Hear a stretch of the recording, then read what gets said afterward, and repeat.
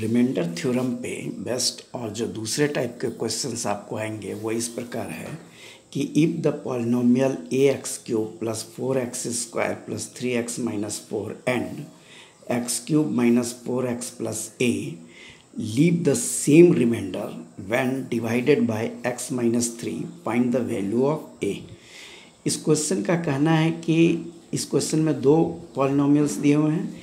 एक है x cube plus four x square plus three x minus four और दूसरा पॉलिनोमियल है x cube minus four x plus a इस दोनों पॉलिनोमियल को एक्स माइनस थ्री से डिवाइड किया जाता है।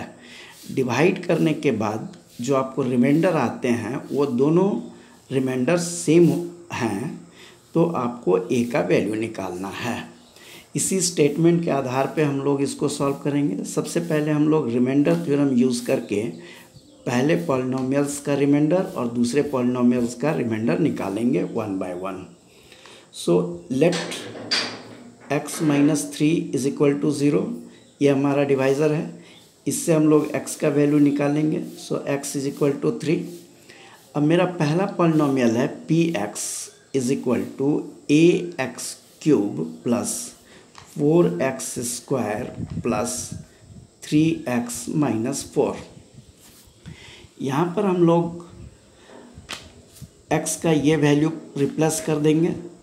सो पी थ्री एक्स के जगह पे थ्री रखेंगे।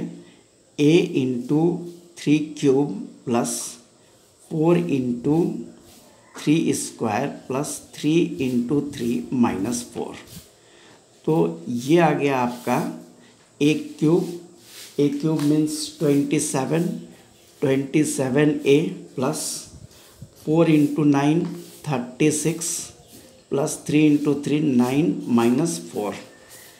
Thirty six plus nine minus four is equal to forty one plus twenty seven a. ये आता है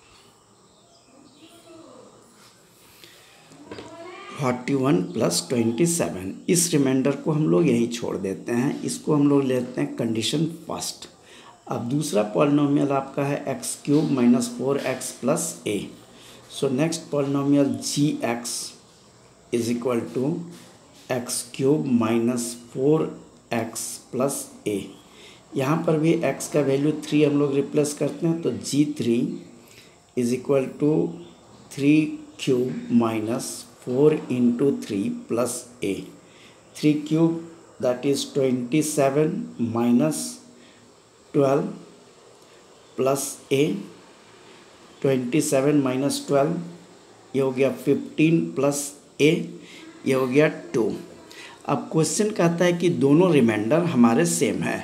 यानी जब हम लोग पहले पॉलिनोमियल को x माइनस थ्री से डिवाइड करते हैं तो हमको रिमाइंडर ये आता है। और दूसरे पॉलिनोमियल को जब x माइनस थ्री से डिवाइड करते हैं तो रिमाइंडर ये आता है। ये दोनों रिमाइंडर्स हमारे सेम हैं। तो क्वेश्चन के अनुसार therefore forty one plus twenty seven a this is equal to fifteen plus a ये और ये इक्वल है इक्वेट करेंगे हम लोग।